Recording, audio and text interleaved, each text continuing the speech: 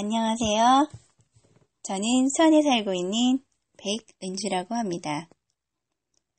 우연히 힐링 프로젝트 누구에게나 엄마가 필요하다를 알게 되어 속마음버스에 동참하게 되었습니다.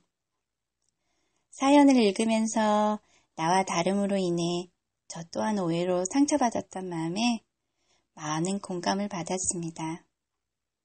이번 속마음버스를 계기로 가슴 언저리를 내주는 따뜻한 마음과 바다처럼 넉넉한 마음을 갖고 살아야겠다는 것을 느끼게 되었습니다.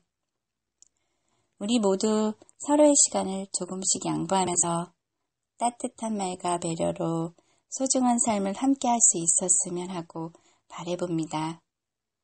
저에게 작은 일에나마 보탬이 될 수 있는 이런 길을 허락해 주시고 제 자신도 치유할 수 있는 시간을 갖도록 해주셔서 진심으로 감사드립니다. 많은 분들이 속마음 버스로 치유받으시고 마음속에 더 큰 사랑을 새기셨으면 합니다. 모두 모두 행복하고 건강하세요.